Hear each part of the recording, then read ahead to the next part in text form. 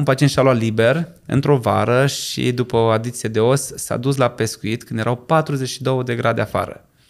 Nu, trebuie să stai relaxat acasă, ă, corpul să se focalizeze pe vindecarea acelei intervenții. Nu mergem să facem cumpărături, nu alergăm, ne relaxăm. Deci asta în cazul intervențiilor mari. Când facem doar implante fără adiție de os, ă, viața poate să fie normală, putem să mergem la servici dacă vrem imediat după intervenție.